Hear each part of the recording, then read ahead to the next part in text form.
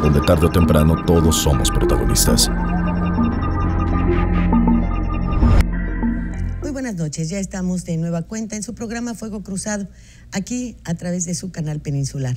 Muchísimas gracias a quienes nos hacen favor de vernos allá en el estado de Yucatán, en Campeche y aquí en su entidad anfitriona en Quintana Roo. Usted sabe que esta es una etapa que está por concluir en donde habremos de renovar al Congreso Federal. La Cámara de Diputados, las curules que se asientan, todo lo que se ha ventilado, además, en las gobernaturas que están en juego. Hay mucho, mucho material para analizar. En los estados en donde nos encontramos, en la península, solamente el cambio vendrá para, en el caso de Yucatán y de Quintana Roo, para diputados. Campeche, Campeche tendrá que escoger a un nuevo gobernador. La situación en la península está para analizarse y para analizarse fuertemente. Me acompaña, por favor, con esta cápsula que nos indicará la posición de los partidos políticos. Hoy sus representantes estarán con nosotros. En un momento continuamos. Democracia partidizada. Los partidos son el medio para acceder al poder en los regímenes democráticos. Pero millones de ciudadanos en Europa y en Latinoamérica están optando por vías distintas a la de los partidos políticos para llegar al poder. ¿Está agotado el modelo de los partidos políticos como instrumentos democráticos para conquistar el poder público? La democracia mexicana está partidizada hasta provocar el hartazgo social. Vivimos, mejor dicho, sufrimos una partidocracia cara, sumamente cara ofensiva para un país maltratado por el despojo y la corrupción, por la miseria y el desempleo. En el actual proceso electoral, los partidos que participan en la contienda son muchos, pero sus propuestas son pocas y de alguna manera casi todas ellas se asemejan. Están los tres partidos tradicionales que desde hace años se reparten el pastel de los asuntos públicos, PRI, PAN y PRD. Y están otros que sobreviven merced a sus alianzas ya sea con el PRI, con el PRD o con el PAN. Nos referimos al Verde, al PANAL, a Movimiento Ciudadano, al PT y a los nuevos El Humanista y Encuentro Social. Son muchos partidos para una democracia tan maltrecha. Son muchos partidos para una economía tan zarandeada como la nuestra. Son muchos partidos para recaer finalmente en lo mismo. En este fuego cruzado se abordará el tema de la pertinencia, de la utilidad y de la viabilidad de los partidos políticos en la hora actual de nuestro país. ¿Qué hacen y para qué sirven? Porque vemos que muchos partidos pregonan con gradielocuencia la necesidad de profundizar la transparencia en la vida pública, pero en lo interno se manejan con total y absoluta opacidad. Al Instituto Nacional Electoral le presentan las cuentas del gran capitán ¿La democracia se agota en las elecciones? ¿Solo las elecciones le interesan a los partidos? Son punta de lanza de grandes corporaciones, de clanes familiares que han amasado grandes fortunas al amparo del poder o de la complicidad con los poderosos. La desconfianza hacia los partidos políticos podría desembocar en el abstencionismo. Lo cierto es que para varios partidos políticos la ciudadanía es solo un convidado de piedra. Este fuego cruzado pone el tema sobre la mesa.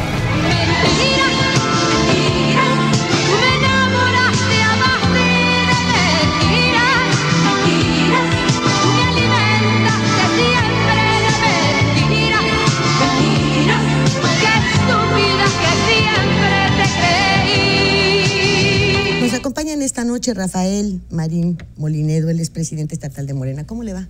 Muy bien. ¿Cómo está usted? Este, mucho gusto. Y gusto estar Segunda vez, ¿verdad? De zarandeada. Sí. ¿Verdad? Vamos a ver. Karina Novelo. Ella está en representación de Javier Aros, que es el presidente estatal del Partido Encuentro Social. ¿Cómo te va, Karina? Buenas noches. Así es, Lilia. Buenas noches. Muchas gracias por la invitación nuevamente de estar con ustedes y sí, en representación de, de Javier Aros. Gracias. Está Samuel Cervera. Él es coordinador de la campaña de Movimiento Ciudadano. Está en representación del presidente estatal de Rafael Hernández Villalpando. ¿Cómo te va, Samuel? ¿Cómo estás? Muy bien, Lilia, encantado. Oye, no aquí. conozco yo a don Rafael Hernández, pero pues qué bueno que, que llegaste tú. Tú sí estás más conocido y creo que te puedes defender mejor, ¿no? Bueno, conozco la situación más. Rafael te lleva menos tiempo por aquí, sí. Emiliano Ramos, él es presidente estatal del PRD. ¿Cómo estás, Emiliano? ¿Qué tal, Lilia? Buenas noches. Como siempre, un gusto estar contigo en este programa. Óyeme, ¿y no te ha ido mal en esta, en esta jornada, verdad? No te han tumbado ni tundido. No, ahí vamos, ahí vamos, defendiéndonos con buenos candidatos y cuidando la legalidad del proceso que hay un partido que se empeña en, en violentar, el PRI y el Verde. Entonces estamos ahí con impugnaciones y con las campañas de los candidatos, que creo que fue una buena elección de, de perfiles. Adolfo González, representante estatal del Partido del Trabajo. ¿Qué tal, don Adolfo? A usted tampoco tenía el gusto de conocerlo. No, claro que no. Ahora sí. Este, muchas gracias. Este, pues primera vez que estamos aquí en representación del dirigente estatal, Hernán Villatoro. Muchas gracias por la Sí, sí, invitación. qué bueno que vino usted, porque luego el Hernán nos quita el micrófono y no hay manera, ¿verdad? Alejandro Betancourt, él es secretario jurídico y representante del Partido Humanista. ¿Cómo le va, don Alejandro? Muy bien. También muchas es su gracias. primera vez, ¿verdad? Es la primera vez aquí con ustedes. Gracias por la invitación. Y aquí estamos. en este momento con Bueno, mira, pues tres nuevecitos y tres que ya saben a lo que le van tirando, ¿verdad? Bueno, entre todo esto, y dado que en la península se han registrado unos calores espantosos, no me digan que sus candidatos han salido a caminar estas horas. No me digan que han andado casa por casa a las 12 del día, a la una y media de la tarde, cuando el calor está en todo su esplendor. ¿A qué le han, a qué le han apostado Eh, Es que para la- dar a conocer a sus candidatos? La política ya cambió.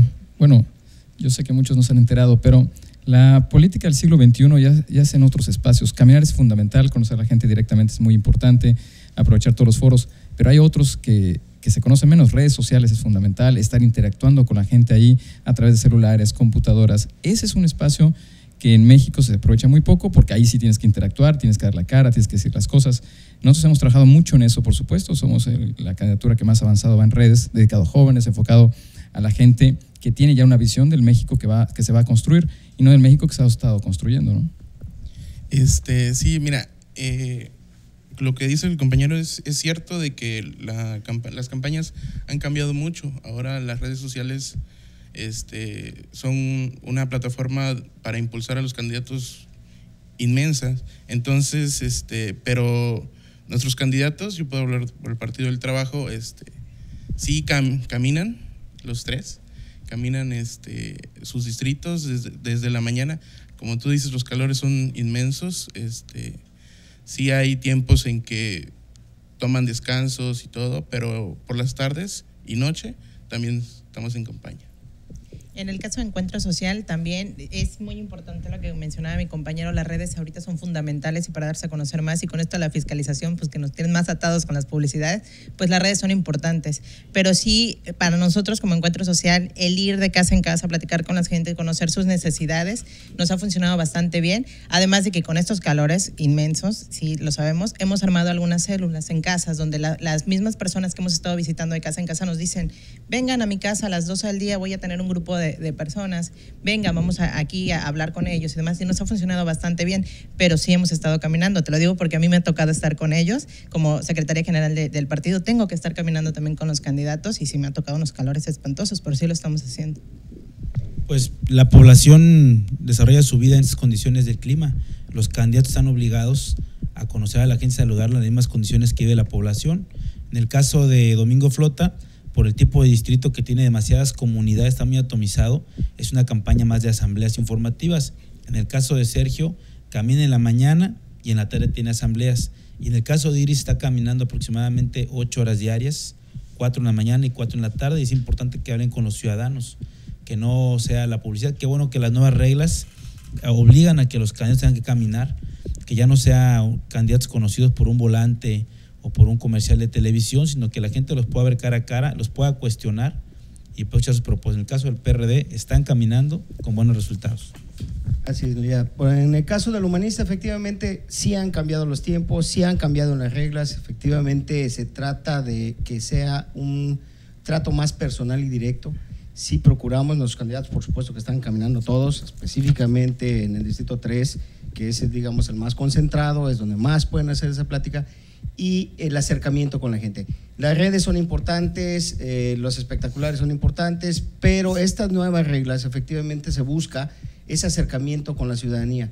Nosotros estamos procurando eso, ser propositivos, escuchar a la gente y como dice nos compañero Emiliano, efectivamente también conocerlos en su medio ambiente normal, natural. Si quieren ser representantes del pueblo, tienen que sentirse y ser parte de ese pueblo. Nosotros procuramos que nuestros candidatos efectivamente compartan ese sentir con la gente, recaben información, propuestas y a su vez se den a conocer, se expongan como tal y puedan ellos sacar lo mejor de cada, de cada evento. Pues sí, en el caso de, de Morena, eh, pues no nos queda de otra realmente más que ir casa por casa. La consigna a los candidatos desde un inicio fue que tenían que recorrer su distrito casa por casa con su volante porque no se les dio para más.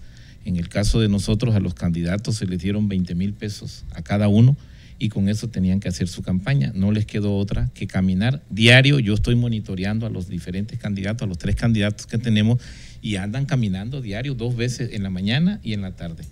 Pero sí, Es sí, un reto sí están caminando. Creo que todos yo he encontrado a, a los de los otros partidos también y sí están caminando. No, creo que no les quedó otra. Yo, yo creo que los, los avances que mencionabas, Samuel, son importantes entre comillas. ¿Por qué son importantes? Porque algunas personas que cuentan con el tiempo para meterse a las redes, que cuentan con internet para hacerlo, que no es en las comunidades en donde está el grueso de las personas que salen a votar, pues eh, he visto el empleo de las, de las redes, pero no para conocer precisamente a los candidatos.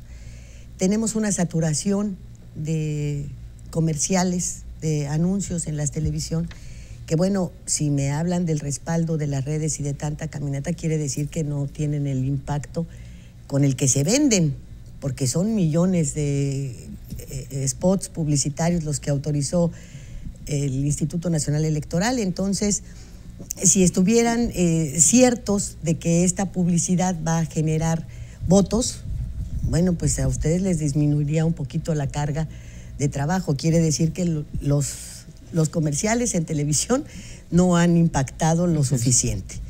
En las redes nos han dado oportunidad pues de conocer quién es quién, de, de muchas denuncias, de cosas que los candidatos han tratado de ocultar y que finalmente salen a la luz, pero tampoco jala votos.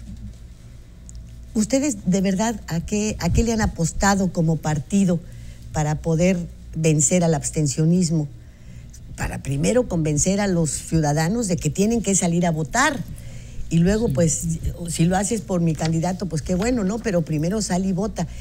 No veo yo el entusiasmo, sigo sin verlo, de los ciudadanos por ir a votar, ¿eh? Sí, uno de los problemas con las caminatas, eh, por ejemplo, el caso concreto de Cancún, es que los horarios de trabajo son muy duros. Entonces, es poca la gente que, que se suelen encontrar en, en los horarios tradicionales de caminar. Entonces, implica el uso de otras eh, estrategias. En Cancún el número de celulares es muy alto, de uso de celulares es muy alto, de hecho es el doble de la población, eh, calculando hipotéticamente cada quien tendría dos celulares, este, que es el número contratado, pero lo que sí hace la gente es estarlos consultando, inclusive gente de nivel socioeconómico bajo. Y eso, si haces un, un manejo muy honesto, muy transparente, muy claro de redes sociales, logras llegar a interactuar y a tener comunicación directa. Y eso es una apuesta que ha funcionado de manera muy eficiente en muchos otros países y que eventualmente llegará a funcionar en, en México. Es un trabajo que hay que ir haciendo porque el ciudadano, como bien dices, no está realmente acostumbrado a interactuar con, con el funcionario. La clase política cada vez se ha mantenido más distante de la gente real y eso genera un enorme, lo que dices, el enorme abstencionismo. ¿Cómo combatirlo? Hay que generar muy fuertes campañas de concientización, hay que llegar mucho a la gente y lo más importante, y eso, eso es un llamado para todos los que estamos aquí sentados, hay que empezar a gobernar mejor para que la gente, para recuperar la credibilidad. Eso es un trabajo más complejo, pero hay que combatirlo desde ahorita. Eh, yo considero que una de las cosas fundamentales es no pasarnos en promesas irreales. Alguien comentaba aquí antes de empezar el programa que hay candidatos que, que le dicen, oiga, arrégleme la calle, sí como no, ¿no? Cuando un diputado federal ni siquiera está capacitado para eso. En fin. No, que su la, trabajo la no es ese. seriedad, La seriedad de los políticos ante la gente tiene que ser mucho mayor que en otros tiempos. Entonces sí es todo un reto el abstencionismo. Sí, mira, también es, es importante exactamente eso. Hacerle entender a la gente qué es un diputado, qué es lo que hace. Llegan y efectivamente. Pero es que no se trata de hacerle entender, disculpe que esté en contra Sí. de su lenguaje. Eh, a la gente no le, no le han informado nunca, al, al gobierno y a los partidos políticos particularmente, nunca les ha importado eh, señalarle a la gente cuáles son las, eh, eh, Las las, funciones y las obligaciones y las funciones de funciones cada- de cada uno. de un presidente municipal, de un regidor, de un diputado. No, es una obligación de los partidos políticos, no es de que la gente tenga que ir a averiguar. Y Por eso- ustedes no lo han hecho jamás, ¿eh? Ningún partido político, al contrario, se disfrutan de la ignorancia de la gente para poder hacer promesas que son absurdas, irreales y para servirse Por de lo- ellas. Ninguno de ustedes como partido le dice exactamente a cada uno de sus candidatos qué es lo que se busca, para saber si van a votar en bloque, si van a votar cómo. Nunca el PRI dijo que iban a hacer las reformas y dijeron que eh, de qué manera y que sus candidatos, sus eh, en ese momento candidatos y posteriormente eh, diputados iban a votar en bloque. Pero tampoco ningún partido de los que ustedes representan lo ha hecho, ¿eh? En este caso. Ninguno. Sí, en este Ninguno caso- marca los lineamientos sobre los cuales va a obligar a sus diputados a votar, Correcto. porque finalmente los obligan. Sí, pero me, me permite más para terminar, Emiliano. Este, sí, tienes toda la razón. En el caso muy particular del humanista, son su partido nuevo.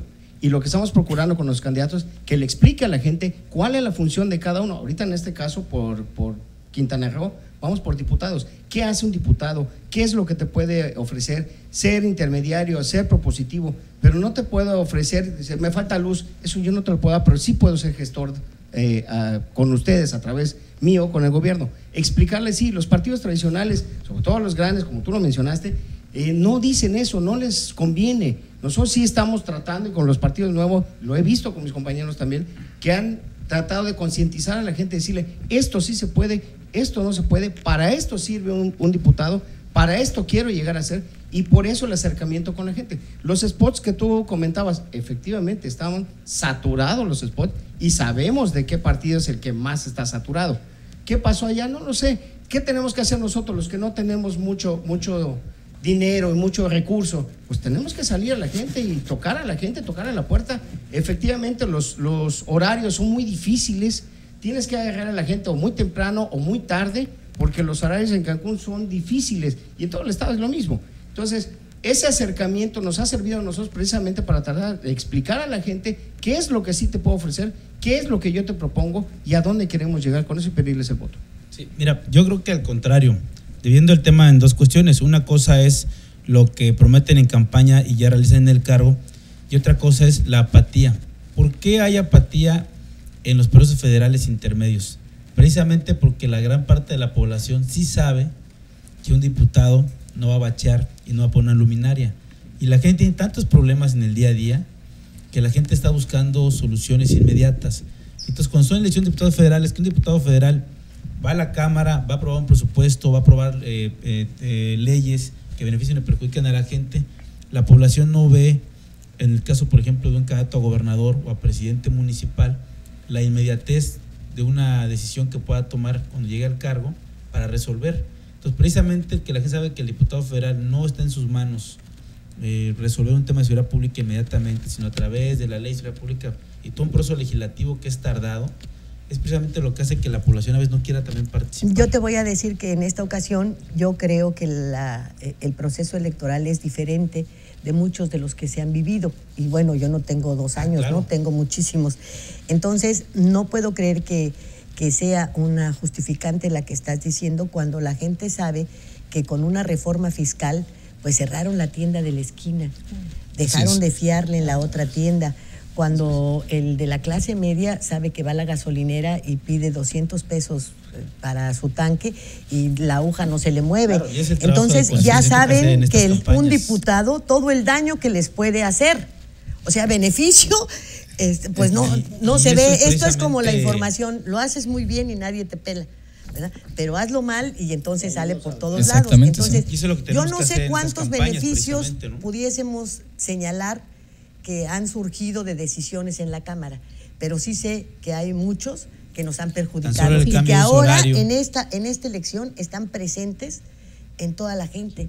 Entonces, yo no veo que sus partidos políticos encaren esta situación y se la presenten a la gente pelona como es para evitar el abstencionismo, No, por- decirle, oye, que no, No, se te olvide que un diputado te puede hacer mucho daño, ¿eh?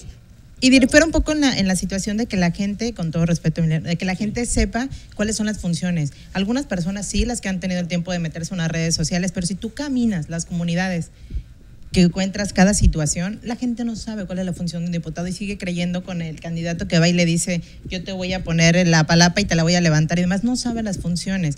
Sí tenemos claro que las redes sociales son ahorita fundamentales, sí, sí lo tenemos claro, pero ¿qué pasa con las redes sociales? La gente no tiene ni siquiera cercanía a una computadora y mucho menos a un internet en las comunidades donde ni siquiera hay luz.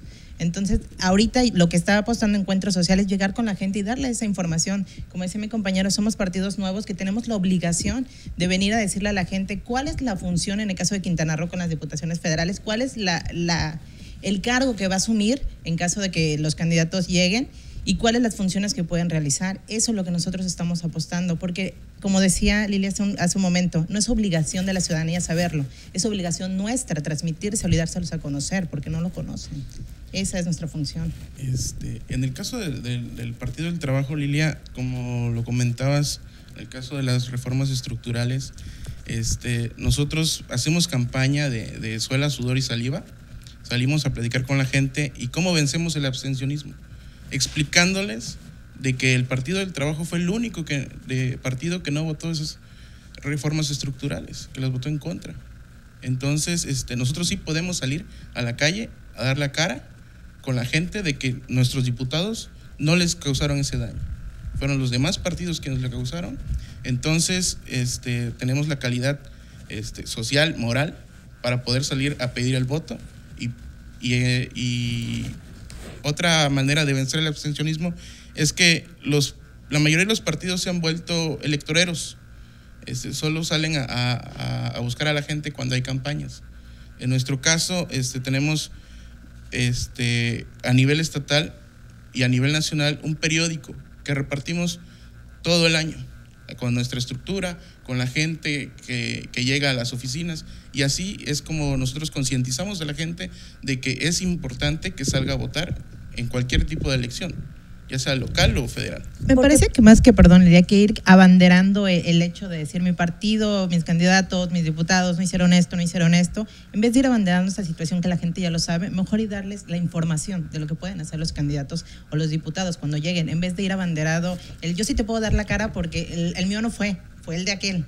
Mejor darle la información y que la no, gente claro, la, información se le conozca y ya sepa por quién votar para que ningún otro partido político pueda llegar a volverles a mentir. Ese es lo que tú lo acabas de decir. Es la, la información que se les da para que ellos conozcan y por quién votar. Es por eso que yo digo que es, mi partido que no, no aprobó esas reformas, quienes subimos en contra de esas reformas. Claro, porque yo como partido no puedo llegar y decir lo mismo, ¿no? Yo no fui, sí, porque no tengo representación aún. Entonces, mejor no, le doy no es ver lo que ya se hizo, sino cómo lo vamos a arreglar. Ya lo sabe. ¿Cómo lo vamos a, cómo lo vamos a subsanar? Y, y ahí está nuestro trabajo para evitar el abstencionismo. A ver, si tú no das tu voto a alguien, a A, B, C o quien sea, de todas maneras estás ayudando a los que no quieres que lleguen. Es lo mismo, no nos haces ningún favor a los mexicanos. Vota, vota por quien quieras, pero, vota. Miren, yo lo que les decía es que precisamente, hay una percepción de la población de que un diputado no resuelve de manera directa. A lo mejor no lo expresé bien. O sea, la gente tiene la percepción de, y la, le genera apatía porque no ve efectivamente el daño que puede ocasionar. Yo creo que es una combinación, creo que todos tienen razón lo que han planteado. Por una parte, sí tienes que decir hacia atrás lo que los demás no han hecho, a juicio de quien lo considere, y también qué se va a resolver, porque también hay mucha desesperanza en la gente. Entonces, únicamente llegar, hay que señalar, es correcto lo que cada quien opina y propone, pero también hay una propuesta de solución a la población. ¿Qué le estamos diciendo? Bueno, a ver, el cambio de uso horario, ¿no? Cómo, cómo han votado los legisladores de Quintana Roo en tales temas, en tales cuales, para que la gente pueda valorar ese daño. Cómo un anuncio de Enrique Peña Nieto en la televisión, cómo va a afectar una semana después en tu bolsillo, en tu ingreso, en que si era un negocio, en que suban los impuestos, en la inseguridad sí, pero no es, yo te diría que no es un, daño de Peña Nieto. Él hace la propuesta y entonces los que ocupan las curules son los que levantan el dedote. eso tiene y en el caso, por ejemplo, de, de, la, de la reforma fiscal, bueno, pues tu partido levantó el dedote. Entonces, ¿qué vas a llegar y le vas a decir, oiga, yo voté porque le le pusieran a usted esto de, las computadoras, aunque usted no sepa ni leer ni escribir, y deje de fiarle a la gente y se pierdan tantos empleos. No, no se lo vas a decir. Tampoco va a llegar el del PAN y le va a decir, oiga, por mi culpa, yo levanté el dedo para que le subieran la gasolina. Pues no lo van a hacer. Pero mira, en el caso Entonces, de los legisladores este, del PRD por aquí Quintana como Roo, la cola está larga, para donde le busques, ¿no? El Porque caso de Graciela Luz sí, es que es muy votado fácil decir el tema del- este, del- las del las aumento a los impuestos. las ¿cómo se llama? Las las reformas de Peña Nieto. No, pues él él plantea ¿eh?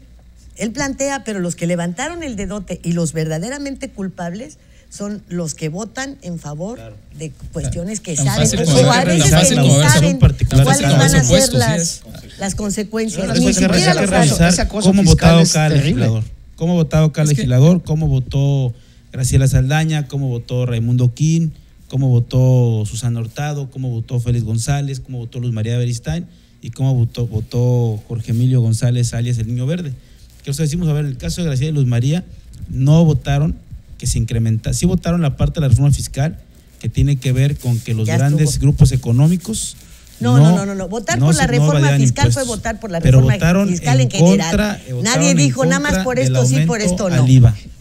Eso no. Este, este pedacito sí. Sí, sí, claro. Una, sí, la- eh, los, los diputados, no hay un presidente que se pueda mover eh, en la historia de México si no tiene una relación tres con los poderes. Samuel. Y lamentablemente, lamentablemente, en los últimos 20 años, el resultado lo dice, México está paralizado. Uno por- 1.5% de crecimiento tiene el país en 20 años. Y que no me digan que los diputados no han tenido nada que ver, porque por supuesto que sí. Es un problema muy serio. ¿Por qué la gente no sale a votar? 1.5% equivale a un país que no está muerto, nada más. O sea, es cero crecimiento. 1.5 en 20 años es una generación perdida. Una completa generación de mexicanos perdida. Es muchísimo tiempo.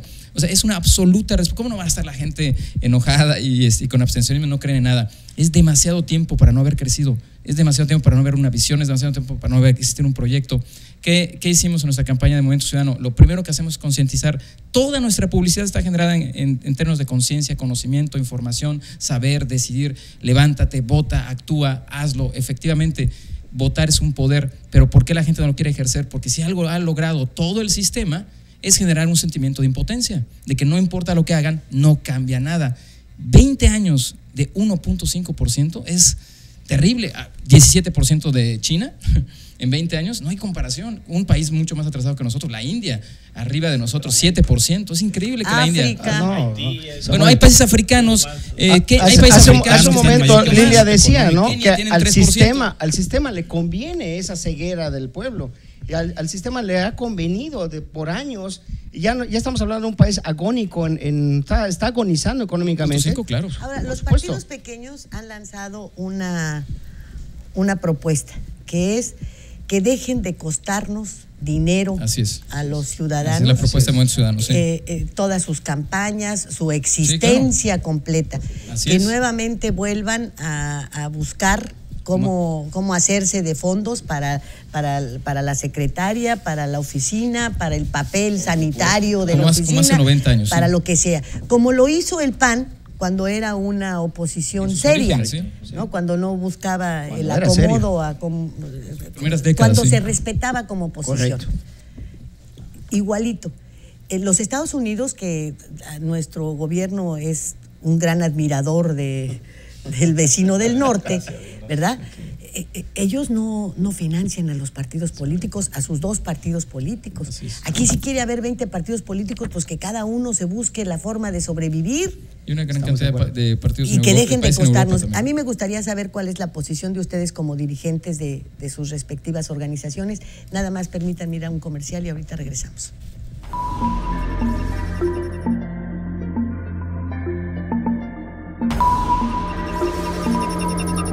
Fuego Cruzado. Y en esta esquina. Entusiasmo, entrega, responsabilidad, apoyo al deporte y un gran compromiso informativo, porque los logros van de la mano con el servir a la gente. Que Las cosas que queremos. Los proyectos que empiezan. Las ilusiones concretadas. Necesitan una asesoría legal y una base concreta. Notaría 64. Respaldamos tus actos legalmente.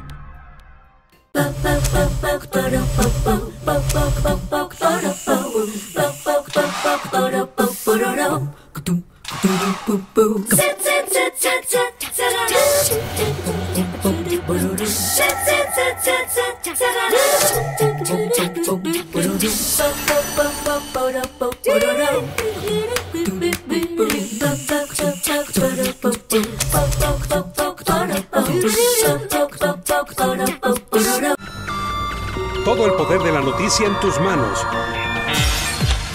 Macronews Móvil. Ahora en tu smartphone, noticias locales, nacionales e internacionales. Tu enlace a todos los medios de comunicación en Quintana Roo. macronews.com.mx.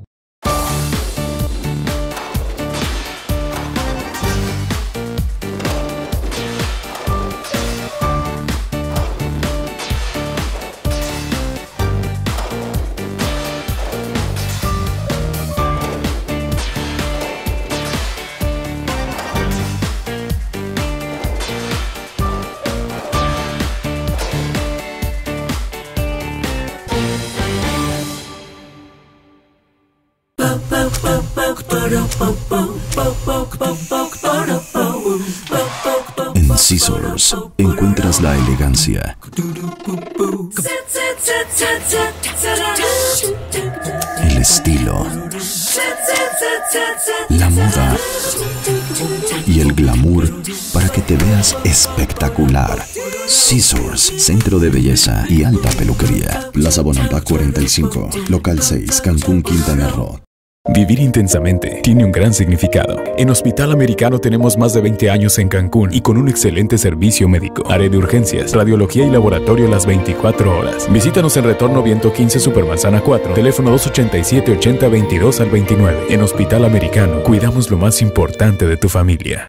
Mare Publicidad. Lleva tu mensaje a donde está la audiencia. Tenemos la mejor opción para publicitar marcas, productos y servicios. Contamos con 200 pantallas de alta definición en unidades de transporte urbano, instaladas estratégicamente para que todos los pasajeros puedan ver nuestra programación. Recorremos las principales rutas del centro y zona hotelera de Cancún y Playa del Carmen ofreciendo un formato dinámico que se actualiza cada 24 horas y garantiza más de 80.000 impactos diarios. Forma parte de la innovación en publicidad. Anúnciate con nosotros. Mare Publicidad. Comunicación de alto impacto en el momento y lugar correcto.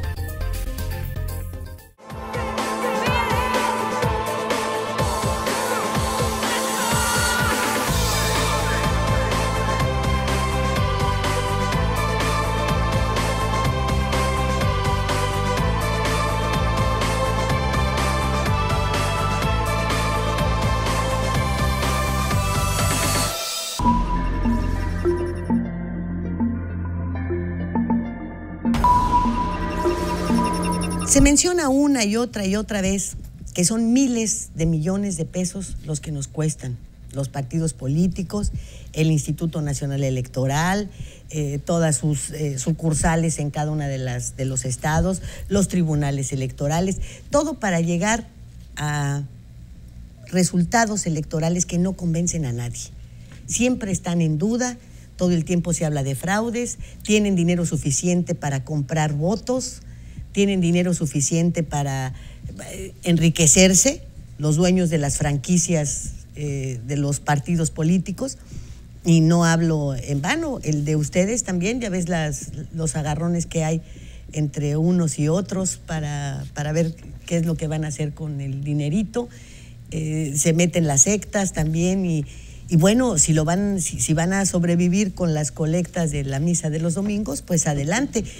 Pero, pero todos siguen dependiendo del dinero de nuestros impuestos para no darnos nada más que situaciones vergonzosas en casi todos los casos. Sí, de hecho la propuesta de Movimiento, chuchos, de Movimiento Ciudadanos es esa, ¿no? De cero dinero. ¿Y dónde se, dónde se basa? Se basa, por supuesto, en, en la historia y en la experiencia real y todo. La experiencia la que todo el mundo se, se imagina inmediatamente es Estados Unidos, donde no se financia el gobierno. Pero en realidad hay experiencias mucho más interesantes y más avanzadas en otras partes. Podemos, un partido político español que ha crecido cada día más, y es un partido político de izquierda, es increíble los poquísimos recursos que ha utilizado, que ha hecho pura creatividad. Redes sociales, acercarse a la gente, hablar en universidades, no tenerle miedo a los académicos porque los dirigentes de Podemos son académicos y son especialistas, a diferencia del, funcionario tradicional. Entonces, eh, Pepe Grillo en Italia, este, la experiencia de Colombia, en fin, partidos pequeños que lo hagan crecer con muy pocos recursos, básicamente financiados por ellos mismos, usando medios de comunicación, conocimiento real, gente realmente informada, redes sociales y, y decir la verdad. Quizás esto último lo más difícil para los partidos tradicionales.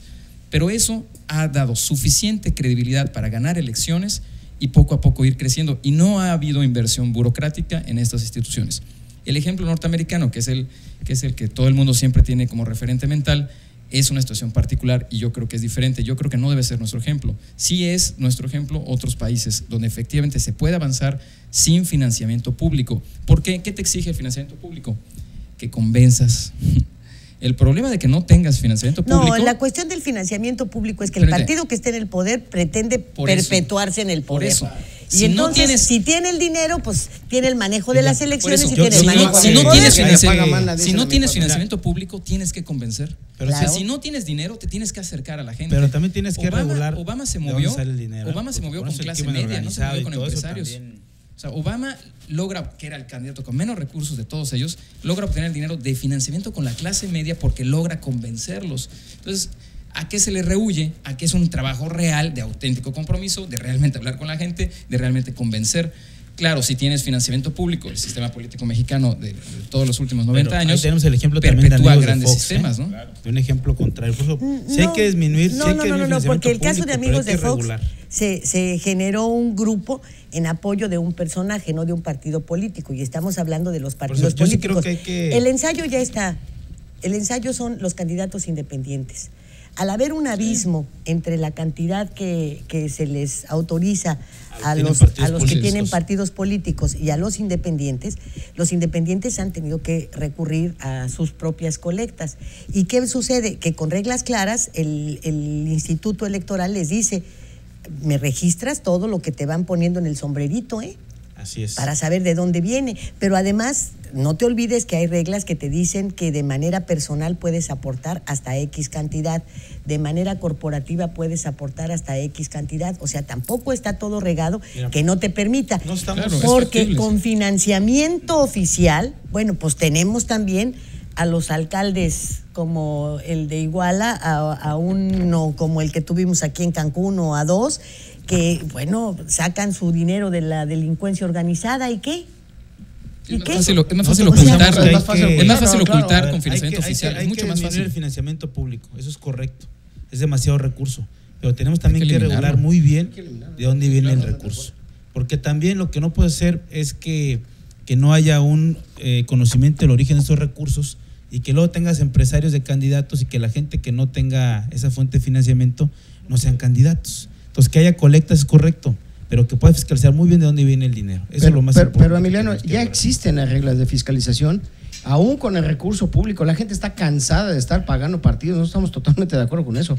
Efectivamente, existen los recursos, que no vayan al narcotráfico, no. Ya están, las reglas están puestas.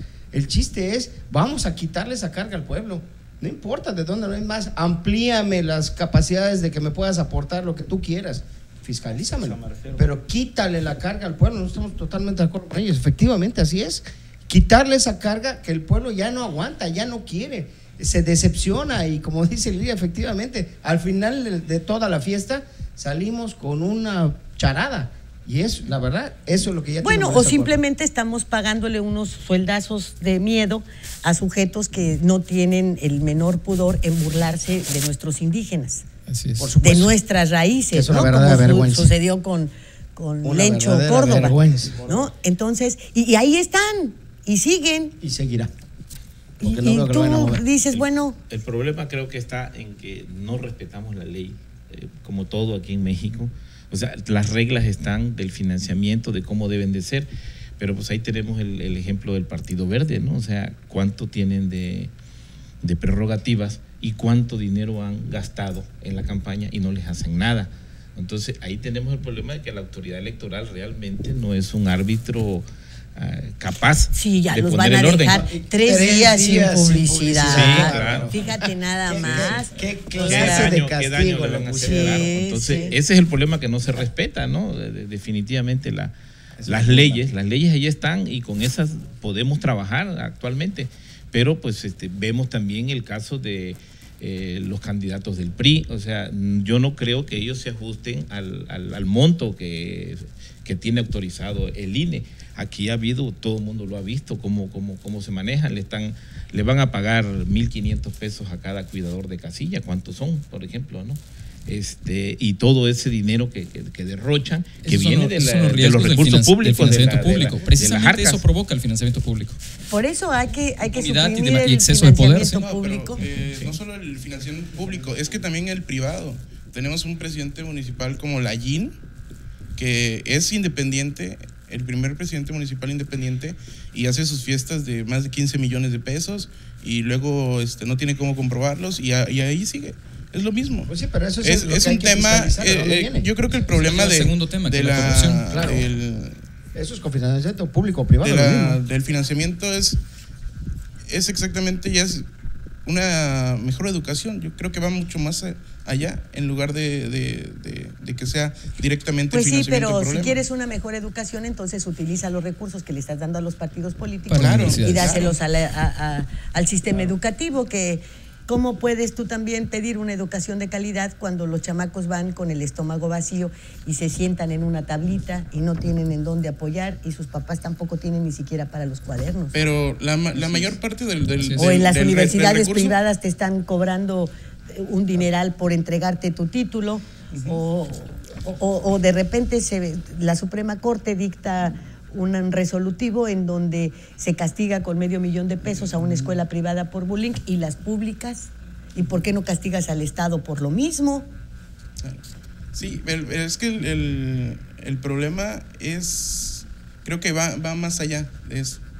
Este, O sea, to- todos los países que, que platicamos hace un rato que habían generado cambios en los últimos 20 años, lo primero que hicieron fue transformar radicalmente su sistema educativo. Eso fue Claro. exclusivamente lo que hicieron. Inclusive no hicieron más. ¿eh? El caso chino no hace más en, durante 10 años más que la pura educación. Hasta después modificó la economía. El israelita. O sea, ¿a qué grado norte, tenían claro qué hacer? Pero mira, en lo que- en lo que-. Entonces, si nosotros no nos enfocamos a hay eso, que cambiar el modelo tampoco educativo. cambiamos. Pero en lo que el modelo educativo cambia y te genera una nueva generación de mexicanos que exijan, tenemos que resolver el tema de la fiscalización, porque esta, esta elección 2015 es la más fiscalizada de todas. Era- y sin embargo, a pesar de que está súper fiscalizada, tenemos este problema del Partido Verde, que no es un tema de financiamiento público. Porque yo le decía el cálculo ayer, nada más en despensas en un mes, en una bodega, y esto ya está con la FEPA de certificado, llevan 4 millones y medio de pesos. Eso ya no es financiamiento público. por supuesto que no. A lo mejor es financiamiento público, pero a lo mejor una cuarta parte. O sea, hay, hay, No hay hay dinero público que alcance Entonces, para eso. no, no, hoy, déjame concluir, hoy hay, hoy hay ya reglas de fiscalización, pero siguen siendo necesarias porque no se cumplen y porque de todos modos le buscan la vuelta. El Consejo General de Bienes les va a poner una multa millonaria. Pasando la elección, el tribunal les va a reducir a una tercera parte de la multa. Y cuando hacen cuentas en las multas por violar la ley y lo que ganan en prerrogativas, producto de los votos Claro. ilegales de coacción del ¿De voto, dónde sale ese? les sale barato. Por eso digo que Sí, hay bueno, que por revisar. eso es, es como los O sea, chamacos tienes que, que dicen, más vale reducir, pedir perdón que tienes que pedir permiso, claro. Sí, pero ¿cómo garantizas tiene- una no? Encuentro Social sigue diciendo que no hay que reducir, hay que quitarles esa carga. Decías y partías de la educación. Exacto, en lo que llega esa educación, que sería lo ideal para Quintana Roo, quítales ese presupuesto e inviértelo en educación y salud. Y que cada quien que quiera Pero estar de... también reglas de fiscalización que no permita lugar a Claro, simulación. pero las reglas ya están hechas. Y- y Ahorita con un decía, financiamiento público reglas estamos muy Bueno, yo les fiscalizados diría- y se siguen Es un- saliendo es un de... Dice reglas. Es que no no- se respetan las reglas que ya existen. Eso nos ha llevado siempre a la generación de nuevas reglas y nuevas reglas y nuevas Así es. reglas, Estamos que es interminable. Interminable. Yo no sé cuántas leyes hay en el país, pero las hay para todo, Sí. hasta para escupir en la calle. Y nadie las respeta. Es correcto. Entonces, ¿vale la pena, me pregunto yo, seguir votando por sujetos que hacen reglas que nadie respeta? Que dejan además al garete esas reglas, esas leyes, porque no hay reglamentos, porque no se preocupan porque surja la, la ley chamba para ellos secundaria, el reglamento, lo que ponga en marcha. ¿Hace cuánto que hay una ley de turismo y no todavía no hay Y reglamento? si, hay, y llega, si hay el reglamento que no se está cumpliendo, entonces vale la pena que siga en la espalda del Y pueblo. vale la pena entonces tener un congreso que vale legisla, pena, que hace leyes que nadie respeta. Una, una de las Vámonos propuestas. al corte y ahorita me contestan, ¿no?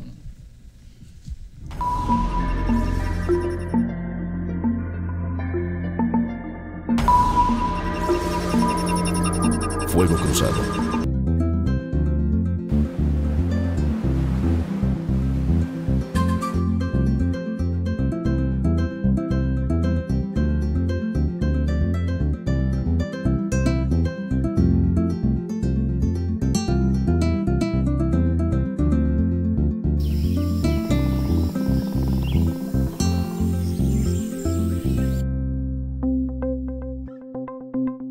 Quintana Roo, vive. Las cosas que queremos. Los proyectos que empiezan. Las ilusiones concretadas necesitan una asesoría legal y una base concreta. Notaría 64. Respaldamos tus actos legalmente.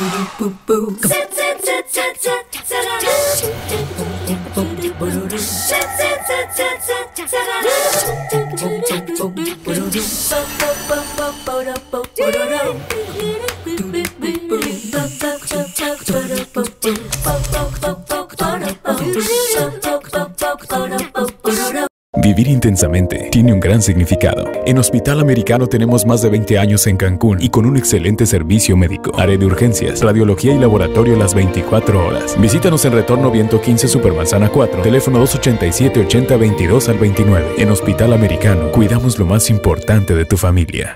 Mare Publicidad. Lleva tu mensaje a donde está la audiencia. Tenemos la mejor opción para publicitar marcas, productos y servicios. Contamos con 200 pantallas de alta definición en unidades de transporte urbano, instaladas estratégicamente para que todos los pasajeros puedan ver nuestra programación. Recorremos las principales rutas del centro y zona hotelera de Cancún y Playa del Carmen, ofreciendo un formato dinámico que se actualiza cada 24 horas y garantiza más de 80.000 impactos diarios. Forma parte de la innovación en publicidad. Anúnciate con nosotros. Mare Publicidad. Comunicación de alto impacto en el momento y lugar correcto. Y en esta esquina. Entusiasmo, entrega, responsabilidad, apoyo al deporte y un gran compromiso informativo, porque los logros van de la mano con el servir a la gente. Que.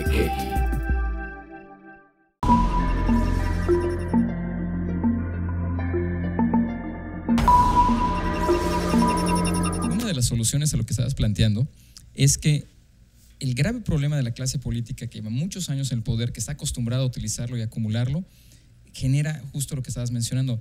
Es indispensable que la gente se empiece a, meter, que participen cada vez más profesionistas, que participen cada vez más académicos, que cada vez gente que normal, pequeños empresarios, clase media, que gente que normalmente nunca había estado y que veía con desdén la política por todo esto que mencionas, por ese enorme eh, sentimiento de desesperanza, si no empezamos a meternos, a involucrarnos, primero votando, segundo acercándonos a las pocas la única que conozco es Movimiento Ciudadano, que, se, que está totalmente abierta a gente que no pertenece, yo no estoy inscrito al partido, este, acercarse a esas instituciones que sí te abren las puertas, que dicen, intégrate, clase mediero, empresario mediano, experto, profesionista, este, gente que sí sabe. Solamente así, paulatinamente iremos metiendo gente que tiene otra visión, que tiene más preparación, que tiene otras perspectivas y que tiene una visión de- del país que se tiene que hacer. Pero, perdón, Porque ¿eh? la visión, permítame, no he terminado. Porque el grave problema, el gravísimo problema Y lo decías, y, lo decías honestamente, no sin querer, le decías, es que estamos viendo a corto plazo, nos nos urge res- resolver esto.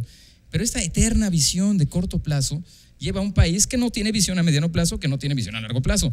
Entonces, en la clase media mexicana sí existe esa perspectiva porque es gente que así tiene que sobrevivir. ¿Cómo le hago yo, Samuel Cervera, para que mi hijo vaya a la universidad que tiene apenas eh, nueve años? Tengo que planear a largo plazo. ¿Y cómo le hace el funcionario público que lleva, que es diputado, no tiene ese problema, tiene asegurada su vida de hace años con los sueldos que ha estado ganando en este momento? Entonces, el clase mediero mexicano con internet, con lo poco que tiene de alcance, con lo que puede, sí logra generar una visión y un proyecto de, de su propia vida. Si esto lo llevamos al país, lo podemos ir modificando paulatinamente. No es un cambio de un minuto para otro, poco a poco. Na- nada más Pero hay que decirte, hacerlo. perdón, lo primero que necesitamos es gente honesta. Claro. Porque hemos tenido mucha gente muy preparada que ha saqueado este país, preparados con grados de doctorado, con grados de- y, y también tenemos empresarios muy corruptos que han saqueado este país y que son empresarios beneficiados de negocios con, con Que los se- propios que se han integrado muy bien al que sistema. luego critican. Sí, así es. Entonces, yo creo que lo primero es gente honesta y a partir de gente honesta preparada. Y no tiene que ser nada más clase media. Bienvenida a la clase media y a la clase alta, pero también estamos Son hablando de tienen- líderes son campesinos los que tienen que a lo mejor no tienen sí. un grado académico, pero tienen el sentido común de lo que está bien y de lo Pero que está mal. primero Eso es lo les que diría tenemos que que buscar todos. Antes todos. que, Ya el siglo que el XXI 2 va el requiere otras 1 cosas. y el 1 sería eh, pues que tenga prestigio la clase política para que la gente quiera entrar. Así es. Porque la gente no se va a ir a ensuciar de su trayectoria personal de honestidad metiéndose al reguero político que han formado los partidos, ¿eh? Porque es un salpicadero verdaderamente excepcional. Y en algunos casos sujeto a, una sola figura. Morena se respalda solamente en López Obrador y que no se crea que sus candidatos son López Obrador o que piensan igual o que se van a comportar de la misma manera. Pero es un partido que también uno tendría que preguntar de este dinero de las prerrogativas, que en el caso de ustedes es de 300 y pico de millones a nivel nacional pero en los de ustedes que ya es cerca de mil millones y en los otros que rebasan y se acercan a los dos mil millones, esta parte es también para que realicen trabajo partidista en escuelas de formación de cuadros, etcétera, que ya no se ven en ningún lugar. Ya no se ven en el PRD, ya no se ven en el PRI, ya no se ven en el PAN. Ya no hay esa, esa formación para la juventud de sus cuadros políticos, de nada por el Eso estilo. Están así, este, eh, ellos tienen a, a López Obrador, pero ustedes no tienen a nadie. No, pero, pero ya eso es lo que esos partidos, ya los grandes, pues ya apuestan mucho a sus fórmulas ya hechas y a su base ya hecha. Nosotros, al menos en el Partido Humanista, lo que estamos haciendo, capacitar a gente joven y gente nueva, precisamente para enseñarles cómo funciona y qué es lo que vamos a hacer, cuál es la, la perspectiva del partido. Hace un momento hablabas de leyes y leyes y leyes. Una de las propuestas de nuestro partido es revisar tanta legislación que hay. Estamos hasta el tope, hay cientos y miles de legislaciones que son totalmente absurdas, lo digo por su abogado, que ni se usan, están totalmente fuera de, de- de- de- cualquier perspectiva de uso. Revisar eso, cuál sí funciona, cuál no, dejar de poner tantos candados para que nuestra, también nuestra economía de clase media, clase alta y clase baja esté avanzando. Hace un momento decías, por esa reforma se cerraron las tiendas de la esquina. Pues sí, vino una empresa, pues no voy a dar publicidad, de, de- esas del 2X, y vienen y le ponen y le abren tiendas al por mayor, ya casi está enfrente, cuando antes había ah, más respeto y todo. Todo eso está desapareciendo. Esa tanta legislación que hay, hoy estuvimos con constructores, también los vimos candidatos de los partidos exactamente, y hablaban de lo mismo, para que ellos puedan entrar a una licitación, son cientos y cientos y cientos de requisitos que les piden. Cuando llegan por debajo de la, eh, de la mesa, como la empresa está de OHL, y ya ves cómo se soluciona todo con un viajecito a la Riviera Maya. Se nos está terminando el tiempo, entonces, si una propuesta de su partido, por favor, ya para cerrar. Bueno, por supuesto, eh, un tema que no Muy tratamos. breve, porque si no, Un tema que no tratamos No que fue la corrupción. Eh, nosotros estamos proponiendo 50 años de cárcel a, pol- a los políticos corruptos y que peculado sea robar dinero del erario público sea considerado delito grave. La, la eliminación del gasto público para campañas y demás. Totalmente. Molinero. eh, atacar de fondo la corrupción en este país. Eso realmente es lo que consideramos que más daño le ha, le ha provocado al país. Ya se ha vuelto una cultura esto de la corrupción, los empresarios, los políticos, todo el mundo ya participa de la corrupción. Creo que ahí tenemos que atacar a fondo este tema para poder sacar adelante este país. La revocación de mandato, que los ciudadanos tienen el poder de poner a los gobernantes, tengan el poder de quitarlos con la revocación de mandato, que es algo que en los países más avanzados está funcionando y que es parte de la democracia. El que no funcione, que se vaya. Eh, una nueva reforma fiscal que este, reduzca el IVA en, las zonas fronterizas y que los títulos y cédulas profesionales sean gratuitos en todo el país. Una revisión a toda la legislación que existe para eliminar corrupción, para eliminar el gasto público innecesario, para eliminar el, el costo de los partidos políticos hacia el pueblo, reducción del IVA y todo. Todo se basa en, en reducción de leyes que no sirven, que no funcionan y por supuesto la revocación de mandato.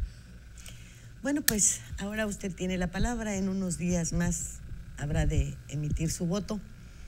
Y bueno, señores, pues que gane el que menos daño cause, ¿verdad? Porque eso de que nos vaya bien, pues eso está en veremos. Muchas gracias, muchas gracias a ustedes por estar con nosotros. Muy buenas noches, nos vemos aquí el próximo viernes.